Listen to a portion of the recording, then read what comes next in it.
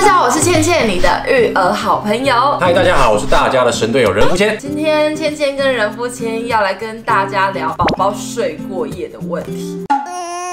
星星又出现啦！刚刚就是有听到他是在躁动的声音，快要到他喝奶时间了。哦，委屈嘴。那我们现在分享第一胎关于屁宝的经验。生完屁宝之后，我们就是去住月子中心。那时候人福谦就跟我说：“哎，老婆，因为我们都没有带过小孩，可能会需要让他有几天进来房间，我们要适应一下那个状态。啊，如果我们真的撑不下去，我们就丢婴儿室。但那个时候都觉得好像还好。然后出月子中心之后，任福谦也要开始工作。当时呢，我也有自己的工作要做。那时候也是一个童装设计师，只是我不用每天进公司。所以我也需要一些工作的时间。那时候屁宝他又不睡过夜，然后我每天就是呈现睡眠不足的状态，所以整个情绪很差，没有耐心。然后我就有一天跟他讲说：“可恶，我就是要让你睡过夜这样子。”我就先看到一本书，叫做《百岁医生的书》，我有参考一些他的方法。再来的话，我去买了一副耳塞，我必须要把人福建耳朵塞住，不然他会被吵着，他没办法睡觉，隔天上班就是精神会比较不好。我们后来第一天就有成功，我有去拖延他的时。拉长的睡眠时间，等于你的睡眠时间又可以长一点，后来就越睡越长，到后来变成十四个小时，然后他的午睡睡得很好。干嘛这样子讲人家？这影片都会播出去了。那晴晴呢？出生就不太哭闹的孩子。不会，我觉得现在好会哭闹。但他两岁以前真的是还蛮冷静。人见人而乐的那种天使宝宝。第一胎的时候我亲喂不太顺利，到请前的时候呢，他喝的超好的，然后他那时候也解决了我一些胀奶的一些不舒服的问题。然后我第二胎呢是请月嫂，第一个月的时候有月嫂阿姨。的帮忙，但是月嫂阿姨回去之后，就变成我跟他啦。但是我就是还是用轻微的方法，我想说啊，没关系，把你从婴儿床抱过来，喝一喝一喝，然后就把你推回去，没有特别累的感觉，然后就睡过夜了。哇塞，这个宝宝真的太天使了。然后三宝星星呢，就是现在这个状态，星星现在大概是七周，七周大这样子。嗯，我们也让他度过了他的新生训练，在家里也让他放纵了两个礼拜。最近呢，我们也打算来开始训练他睡过夜。目前进行到现现在应该第三天、第四天。以昨天的经验来讲，已经成功一半了。他中间起来一次，后面就没有再起来了。那现在啊，来跟大家聊，就是我们家怎么帮孩子建立睡眠意识，然后让他顺利的睡过夜呢？比如说你今天是跟老公住的话，那你就给老公耳塞，因为老公明天要上班，不要被吵。但如果你今天跟公婆住的话，你可能要先送公婆出国玩，因为公婆一定会来找你。饿了饿了不行啊，不要给他饿着，这样他们心比较软。先让公婆睡过夜，然后再让小孩睡过夜。那因为我们还蛮幸运的。没有跟公婆一起住，我们两个人调好就好了。再来的话是，我就算当时亲喂，我也会把它改成就是平喂，我就会调他去喝奶的那个时间哦。现在奶量是一百二，但如果我让他喝一百的话，他有可能就是三个小时就醒了。但我让他喝足一百二，他就会大概快四个小时才醒来这样子。那如果说你发现说，哎，我的宝宝喝一百二之前都很 OK，都四个小时，哎，结果怎么后来最近好像只能撑三个小时？那表示他要加奶量。那加奶量的话，建议说，嗯。它的奶量就是十诺十诺加，然后看看有没有撑到四个小时。那个奶量不能一次加太多，因为就是怕会有溢奶的状态，然后也要记得拍嗝。然后再就是它体重要超过五公斤，再进行睡过夜的这个训练会比较好。建议大家就是让宝宝要睡过夜之前的那一餐奶要让喝饱一点。那有些妈妈会说，因为像母奶容饿，所以会特别喂配方奶。哎，我觉得这个也也是真的，配方奶会让他可以撑比较久一点。所以睡前那一餐可以给他配方奶，然后喝多一点点这样子，你就是可以。先让他洗澡，因为我觉得洗完澡之后就整个会比较放松。然后洗完澡之后就可以开始准备喝水过夜的之前的那一餐奶。喝完那一餐奶之后呢，就要准备睡觉了。这个时候呢，你可以用包巾把它包起来，就是不会有惊吓反射，然后突然醒来。现在有那种简易包巾，就是把它包起来之后拉链拉上。那我还蛮建议一定要用的，因为那个惊吓反射真的就是会一直吓醒，一直吓醒。有包巾，他们真的会睡得比较好。然后当然还有检查尿布啦，尿布要帮他换最干净的尿布，最新的尿布。这时候可以给他一个睡眠仪式的音乐。刚出生的婴儿来说，他们最喜欢的其实是白噪音跟心跳声。对，哎呀，他在笑，他一直在偷笑。然后再来就是安抚奶嘴，他如果愿意吃奶嘴的话，是会比较容易安抚下来的。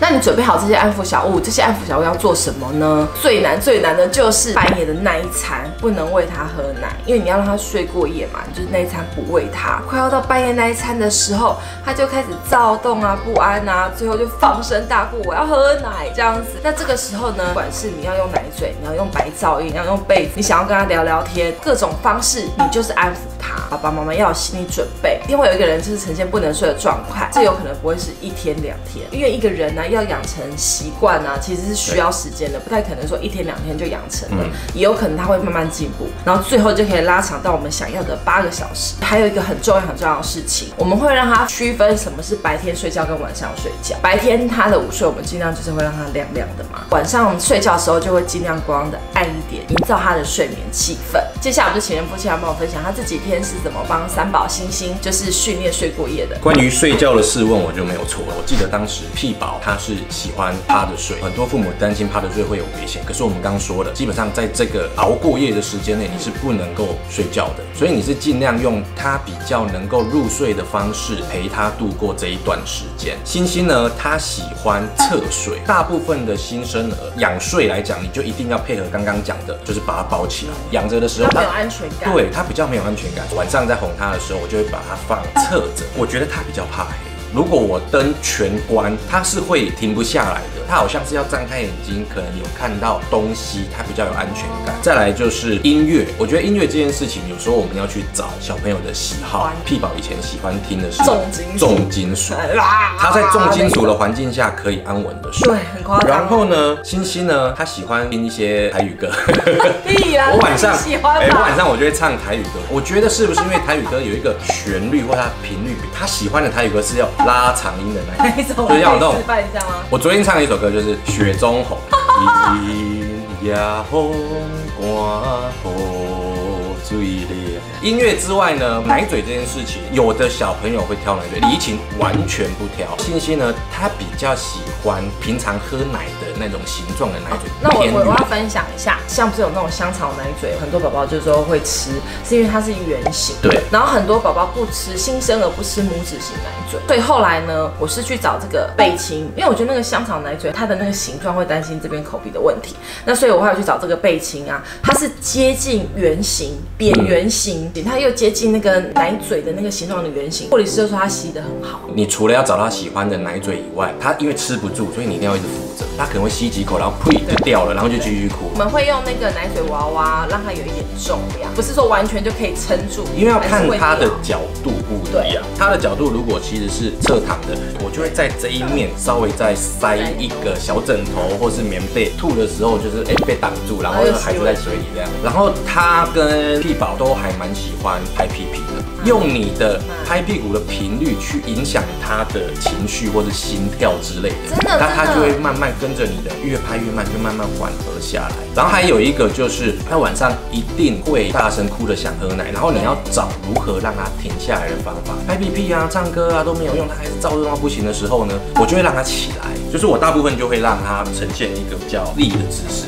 他就会比较稍微清醒一点点，所以当他一直闭着眼睛，然后一直哭，陷入那个情陷入那个情绪里面，你就把他叫醒，他醒来看看，嗯，刚刚发生什么事，对，然后你就可以陪他玩一下，跟他按摩啊，玩玩他的手手啊、脚脚啊，再来回来重复入睡的那个仪式。父母的心态啊，你如果越着急，他其实感受得到。宝宝真的蛮敏锐，如果你今天是情绪很紧，你很不耐烦，你半夜被吵醒很，不耐烦，生气，他就跟你担心，跟你杠上。除此之外，如果觉得他还是焦躁不安，我觉得还是要检查一下。身体有没有不舒服？因为我们还是要避免太过武断，觉得说他只是肚子饿。对，像我们昨天，他只有在半夜四个小时，就是你平常白天控制好他喝奶时间，他晚上就是那个时间。其实也花了一点时间，大概一个小时。可是接下来三个小时他就直接睡过了。所以我在想，今天应该就可以直接挑战成功吧？今天是第四天，陪他建立这个睡眠之后，昨天一整天白天他也相对的睡得比较好一些些。因为有妈妈会说，我怎么都安抚不了我的孩子。妈妈可能要想一下，有可能是因为你没有耐心下来去观察他。陪伴小孩过程中，你就是要去了解你自己的小孩他的需求。有的小孩喜欢拍屁屁，有的喜欢拍胸口，有的喜欢吃扁奶嘴，有的喜欢吃圆奶嘴，有的喜欢摸头头，也不一定。对，你就多试几种。我觉得应该有一个共同点，大部分他们睡觉姿势不喜欢容易变动的。像他在侧睡的时候，我们一定卷一个小毛巾放在他的背后，然后前面也塞一个东西。你趴在哄睡的时候，你不小心睡着，我会十分建议你带一个像 G I O 那种透气枕，你都比较不会担心说它可能会窒息啊或什么之类。对对，但是这个过程我必须还是说，我们都是保持清醒，我们不会说哦睡着让他自己这样，不会不会。那像我们床垫跟枕头全部都是用透气的 G I O 去，因为它是通地透气网层嘛。那奶它如果流出来，它就直接留在那个床，就这样下去了，它不会积在这边这样子。好，那我们在粉丝团这边或者是其他留言地方，我们有收到一些关于睡过夜的问题，那我们现在一题一题来回复大家。刚刚就是人分享有讲到关于奶嘴这件事情，就会有妈妈说，我的小孩就不吃奶嘴啊，喜欢亲喂，然后喝母奶，所以他不吃奶嘴。我还是十分建议你一定不要全亲喂，真的真的，至少一餐两餐品味，让他去能够有不同的吸吮方式，他可以吸真的是人体以外的东西，那他就会愿意吸奶。因为你如果说真的全亲喂，口感不一样，他一定会拒绝。如果说拒绝，你也不要觉得他就不吸奶，因为奶嘴刚讲过，它有非常多不一样的形状，总有一个形状是他喜欢的，这是第一个。再来，那就有妈妈问说，每一家的孩子睡过夜的方法都一样吗？我只能说大致上的步骤差不多，但还是会因为孩子个性关系会有一点不一样。对啊，其实朋友们自己家里三个就不太一样。P 宝那时候我们训练是一次 OK，星星现在呢，是直接要挑战睡八个小时，呃，一个礼拜以内一定可以完成。应该有类似的经验，就是大部分你都比小朋友先睡着，然后小朋友可以睡得很安稳，然后你晚上才起来这样。其实就是这样，小朋友看到你在睡觉的时候，他会觉得没事做，他就会跟着你睡觉。那有妈妈问说，是一出生就可以让他训练睡过夜吗？我十分不建议，身体的机能不是还那么完善的时候，他其实很多东西都还在长。我们大概都是在六周左右开始，六周，然后体重有到五公斤，一定体重要到，然后你要知道说他可能没有一些新生儿的疾病。医生都要去评估做检查，会去评估他的生长曲线，都是维持在他可能一出生左右的那个成长比例下，没有说暴起或暴。嗯，对，有时候可能会辛苦一点，你的小朋友可能两个月到三个月才可以达到这个标准，在那个时候再训练，我觉得会会比较好一点。对对，再来一题。那还有妈妈说，那你们会安排固定的时间让宝宝睡觉或者是起床吗？我建议一定要。关于新生儿，其实他会有非常多的状况，尤其我是。新手的话，那他现在哭到底是什么原因？可是如果你把你的喝奶的时间跟睡觉的时间定出来，我觉得小朋友他的作息真的还蛮好训练，他比起大人好训练多。他只要一段时间之后都是这样子，那他的身体就会记得这件事情。那你知道他什么时间该饿，什么时间该睡的时候，当他在躁动不安的时候，自然而然就知道说，啊，今晚爱困啊啦，啊，今晚八都腰啊啦。我们喝奶时间是八点、十二点。假设他现在十点在哭，那我就更快能够掌控到，比方说尿。布啊，比方说是不是已经睡饱？他觉得很无聊，需要有人陪他玩一下这样子。我也要说一个点哈，基本上只要不是在吃饭的时间，他如果哭，我们都不会喂奶。对，你若喂奶，你就会打乱他的时钟，也会打乱你自己的时钟跟作息。之前有妈咪问他说，我们家的宝宝会肠绞痛吗？哦，对，屁宝那时候，其实我有针对肠绞痛做一些功课，不是真的肚子在痛，跟肠子也没关系，它只是一种比较类似心因性的心理性的那种感觉。大部分肠绞痛，人家说发生在半夜，其实我觉得。不是发生在半夜，就是因为没办法睡过夜而已。不然就是我们家很幸运，因为我们家三个我都没有遇到。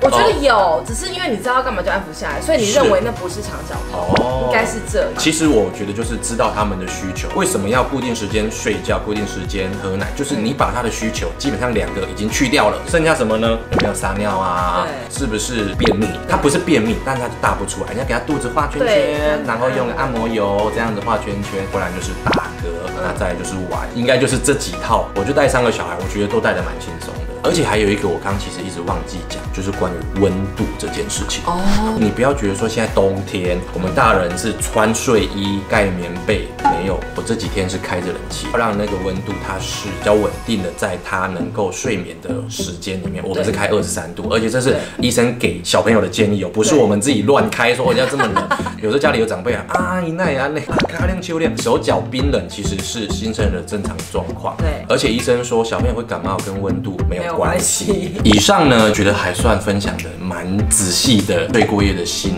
得。看完这支影片呢，如果说你们家还有任何可能睡过夜想要询问的，都欢迎在影片下面留言，那我们也会再回复你们说，哎，我建议的做法是什么，那大家可以尝试看看。那今天的影片分享就到这里啦，记得要追踪我的粉丝团“芊芊育儿生活好好玩”，还有我的 IG C H I E N C H N 九九。那我们下一次影片见喽，拜拜。拜拜。